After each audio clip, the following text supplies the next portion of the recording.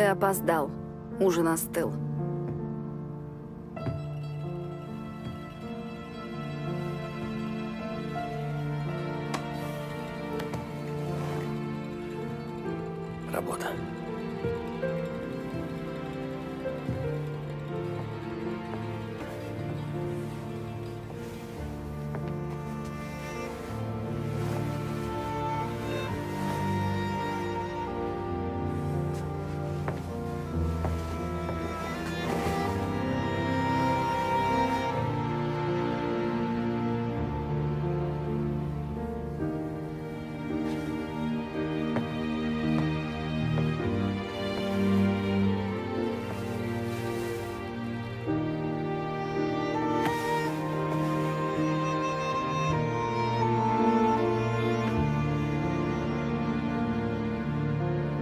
Выходи за меня. Хорошо.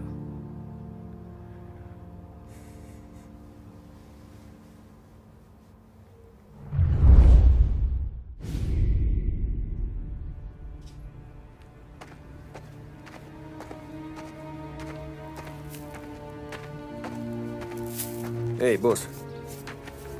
Я понял, я вам нужен. Присядь со мной.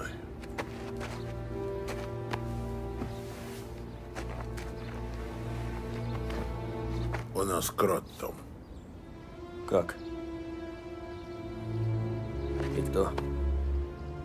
Я всю ночь не спал, пытался вычислить, кто это может быть. И стал думать, может, кто-то из ребят, кто получает меньше положенного. Кому-то не хватало на костюм. Вот он и решил обратиться к Морелло. Фрэнка не было, и я сам полез в сейф за книгами. Проверить, кому мы недоплачиваем. Что вы узнали? Сейф был пуст, Том. Фрэнк. Я знаю его 50 лет. Все, что я имею, мы нажили с ним.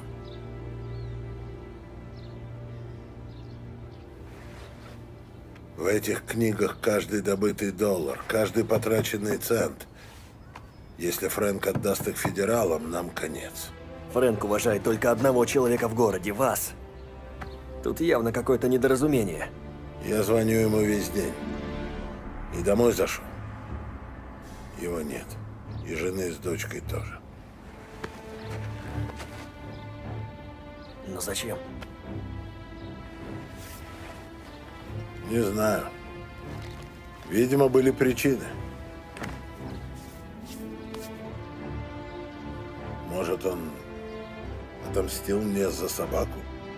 Что вы хотели ее утопить? Да. Он не позволил, и тогда я ее пристрелил. Я был глуп тогда, Томми. Черт с этими обидами. Нужно вернуть книги. Потряси наших стукачей. Может, что знают.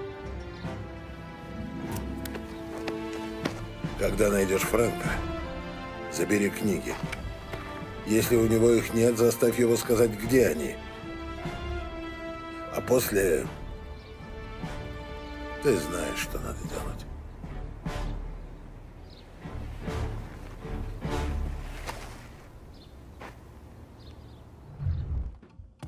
Слыхал что-нибудь интересное? Что-то, о чем Дону следует знать? Возможно. Сколько заплатишь? Есть 20. Сорок. Ладно, говори. В городе ФБР.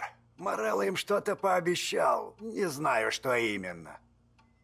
Кто слил? Малыш Тони подпоил одного парня в черной кошке и потом подвез до дома. Вот и услышал кое-что. Лучше спроси его. Ясно. Спасибо. Не особо. Что там был за парень от федералов, которого ты домой подвозил?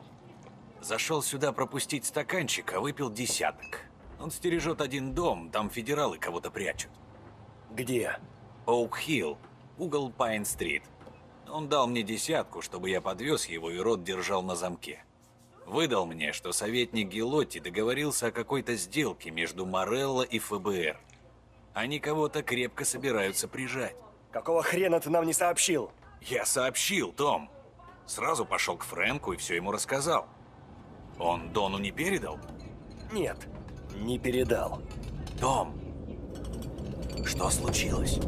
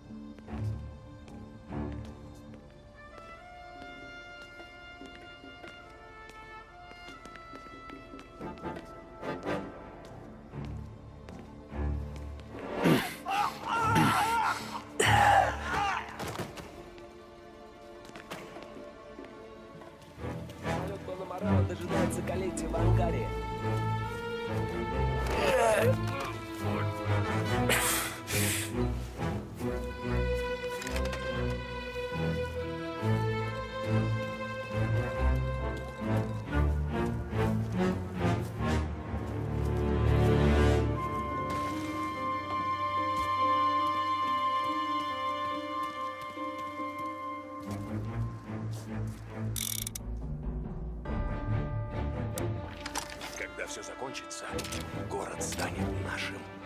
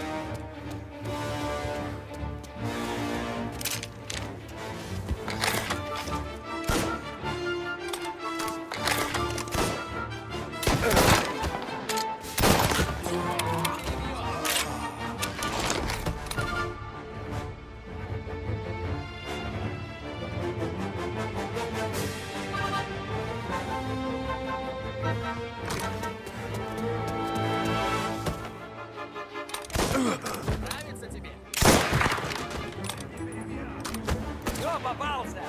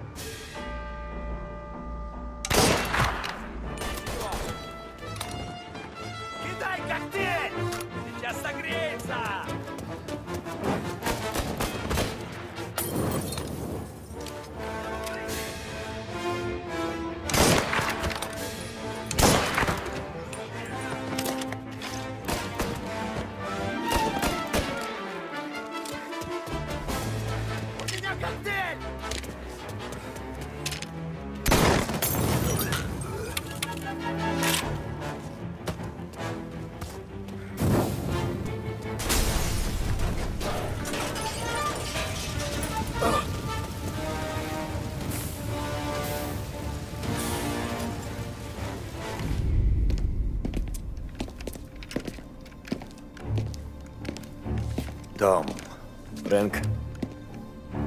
Меня прислал Дон. Я уже понял.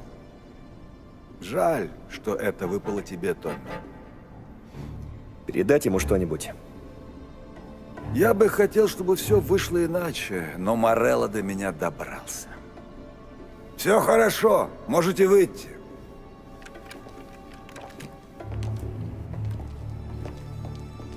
Морелло предложил простую сделку.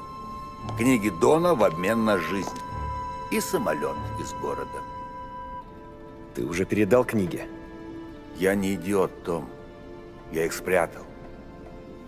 Морелло ждет вот это. Книги лежат в сейфе в банке Гранд Империал. Я обещал дать Морелло ключ, когда самолет будет готов и заправлен. Его люди должны были сейчас приехать за ключом. Они не придут. Скажи им, пусть садятся. Вперед, Марч. Элис. На борт. Фрэнк, ты летишь с Не нами. сейчас, милая. Подымайтесь. Нам с Томми нужно обсудить важное дело. Но, Фрэнк... Садитесь живо, Марч! Ради Элис. Ради нас. Лезь в чертов самолет, прошу.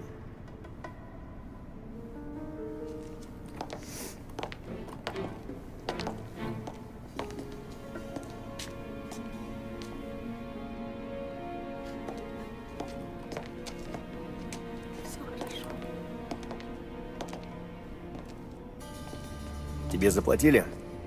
да.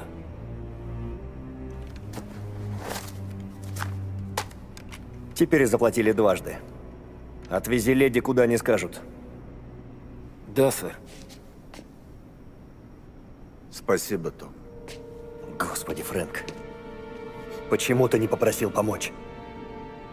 Я захотел выйти из дела. Так или иначе. Я устал, Томми. Устал врать своей жене. Устал искать под машиной бомбу каждое воскресенье. И ждать, когда Дон всадит мне пулю в висок.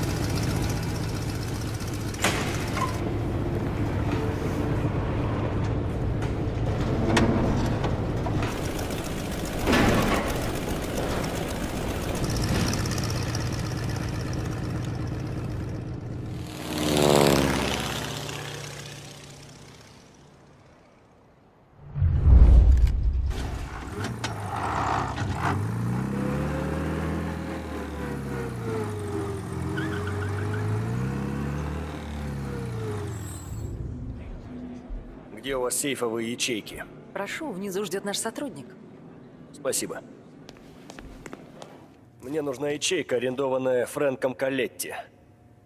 Да, мистер Анджело? А, да.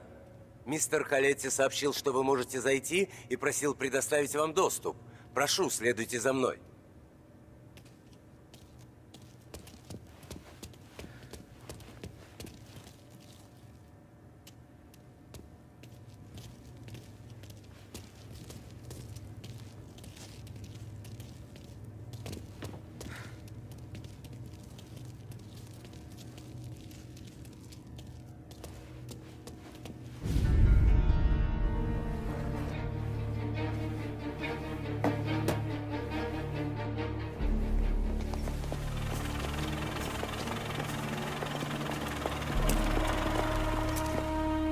Я взял книги и замел следы.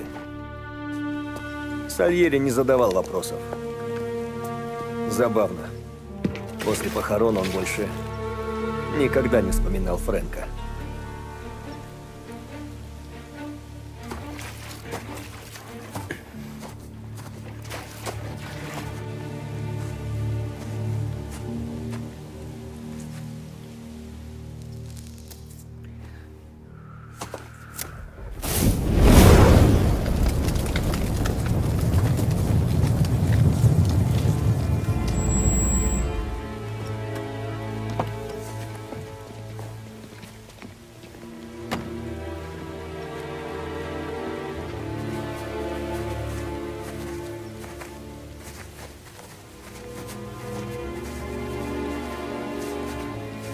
Нервируешь моих ребят, Марко. Мы с Серджо всего лишь хотим отдать дань уважения. Я знал Фрэнка давно. Столько же, сколько ты. Хороший парень, умный, верный. Хм, Верный жене и дочке прежде всего. Это делает ему немалую честь, Энио. Возможно. Но я все смотрю на надгробие, где стоит имя его девочки. Это печально.